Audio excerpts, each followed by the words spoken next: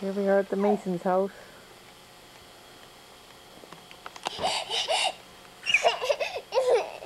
My little baby can walk.